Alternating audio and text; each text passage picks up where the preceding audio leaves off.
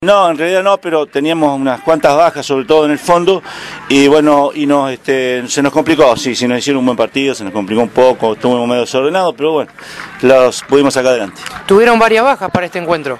Sí, más o menos como tres o cuatro bajas importantísimas, sobre todo en el fondo.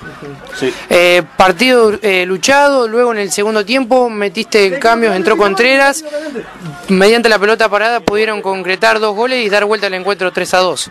Sí, es que en realidad no teníamos, teníamos dos jugadores en el banco, estábamos complicados y los tuvimos que por lesión, encima dos lesiones de, de Enrique Gene y bueno, de Ferrari, y bueno, que lo pudimos, hoy sí que tuvimos un poco de suerte, lo pudimos dar vuelta. Eh, metiste a varios pibes eh, para debutarlo en primera, ¿no? Sí, alrededor de tres o cuatro, cuatro pibes, tres pibes, tres pibes, sí, de, que son de cuarta y un chico de tercera rubano, que se defendieron bien, anduvieron bien. Y por lo menos este, cumplieron. Eh, bueno, decía ganaron 3 a 2. ¿Terminás el, encuentro con preocupación o qué, tiene que hacer este provincial en, la semana?